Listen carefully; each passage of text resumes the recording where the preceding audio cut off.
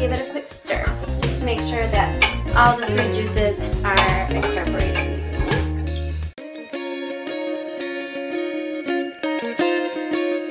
Hi everyone, my name is Jeni and welcome to my kitchen. Today I'm going to be making a very, very simple juice recipe that is inspired by my travels to Walt Disney World. This juice is called Jungle Juice and it can be found at Disney's Animal Kingdom Lodge and in the Animal Kingdom theme park. And it's a very simple juice. that has three ingredients, fresh orange juice, guava juice, and passion fruit juice. Uh, I've had this juice a few times on my travels to Disney World.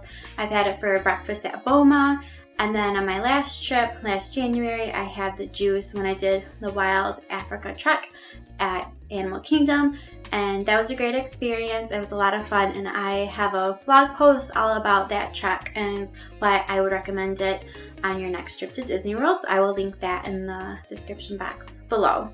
So we are going to start making the juice and I am using fresh squeezed orange juice and I've already went ahead and squeezed the oranges.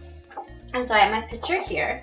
And this juice is super easy to make and it's very popular. If you've been to Animal Kingdom, or Animal Kingdom Lodge, any of the restaurants, you might have had this before. I believe they also serve it at Tusker House at Animal Kingdom. So we will add our orange juice to our pitcher. And then we're gonna use guava juice. And I found the uh, passion fruit and guava juice just at my local supermarket. So we're gonna add a cup of each. You can make it you know, whatever ratio amount of juice you are serving depending on the amount of people. So we have a cup of guava juice. Just, I'm a big fan of guava, are you? I love fresh guava, anything with guava I'm a fan of. And then passion fruit juice. And it is just so easy to make. So if you're a fan of this juice that you've had in Disney World, you are definitely going to love this recipe. And I believe they also, this is similar to the juice that they have at the Polynesian resort, like at Ohana. Um, so like Pog juice or Stitches juice, it's very similar. And then the passion fruit juice, so that smells really good. And then I'm just going to give it a quick stir, just to make sure that all the three juices are incorporated evenly. And that's it.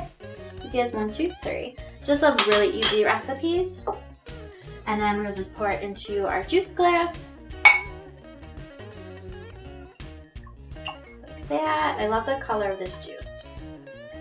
And that is it. So let's give it a taste.